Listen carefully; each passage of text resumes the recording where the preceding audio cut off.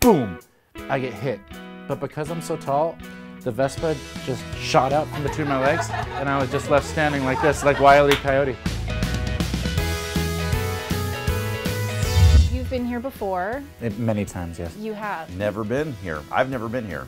You have. Well, welcome. Thank you. We're happy to have you here. We always give out swag Oh, good. to people. Last time you were here, I think you missed out on the big grand prize, but you did get an apple. So, in the spirit of the film, because your character is looking for a sign, you look very skeptical right now. I don't remember getting anything from you. Well, you're about to get swag Just this time. Raise the bar. I I better get did. some Yeah. good stuff. Well, your character in the film is looking for a sign. Absolutely. I was on the truck. The truck came here. Now you're here. I was meant to have a meeting with destiny. And so, in the spirit of that, and you're also a bit of pothead, I, we have a sign for you. Thank you. And so It's two signs in one. It is Look. actually, and that is for you. Uh, okay, great. Or if you want to, you know, you could always Fa- uh, even better. multi-purpose Good. Just out of curiosity, what did you give to the Hunger Games people? spears. First of all, I'm going to start with a Twitter question from one of your fans. Angie Norris wants to know. Angie, yeah, yeah. Yeah, you know Ange. Have you ever had a moment that happened because of chance or fate? Well, chance and fate are are the opposite, aren't they? Like, Wow. I mean, I don't. That's getting deep, Ed. Well, I just it's chance or fate. Yes, one or the other. so are you calling out Angie's question? I think everything has happened by chance, right?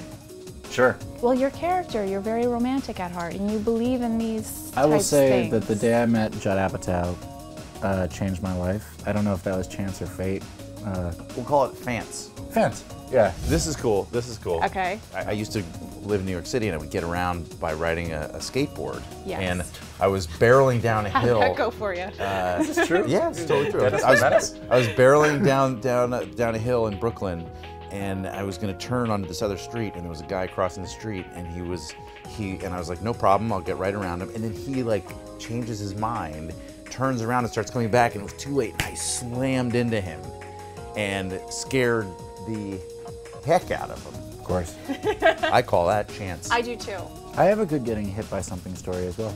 Go for it. Uh, so I drive a Vespa, or I used to. I don't anymore.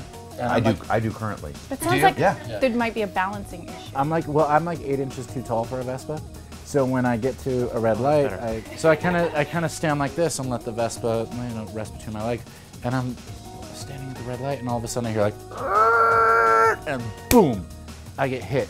But because I'm so tall, the Vespa just shot out from between my legs, and I was just left standing like this, like Wile E. Coyote with no Vespa. I swear to God. It's a great stance though. So, boys and their toys. In the film, you buy a Porsche. Surprise.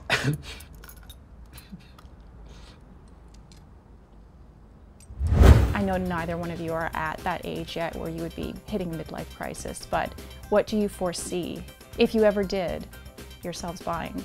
Here's what I would buy, or what I might buy Yeah. when I have a midlife crisis. Yes. One of those, I don't know what it's called, but it's this thing, it's this backpack that you put on and it has a giant propeller on it, and and then and you and then you have a uh, like a parachute paragliding thing, and you can literally fly around in it, like uh, like it gives you the gift of flight. and I am definitely getting that when I have a midlife crisis, not a day before. So, what would yours? What would your midlife crisis? I would probably just donate everything to charity because I want people to be happy. So you're gonna make me cry, which leads me into I cried in the film. What was the last movie you two cried in? Together? Not together. yes, together. Here's the thing that happens to me all the time in movies is I with towards the end of a movie I inevitably yawn, not necessarily because I'm bored or, or just because I'm it's usually at night and I'm I am an early riser, I'm probably a little tired. I yawn. When I yawn, I also tear up. Right.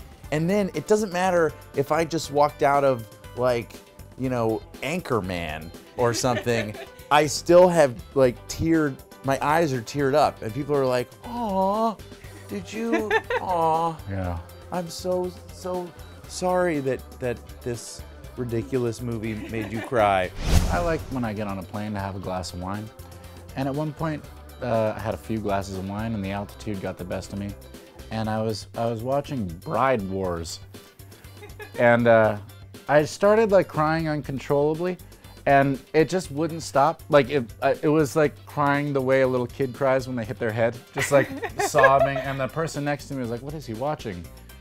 The Bride Wars?" And I just, I cried for like 35 minutes. On that note, I'm going to go book a flight, and I'm taking the two of you with me. We're going we first class, and we're going to go watch movies. I don't know wherever you want. It doesn't. The destination's irrelevant. We just want to watch. Absolutely. This We're is just like gonna watch movies and weep let's like cry babies. together, guys. Let's all. let's do that.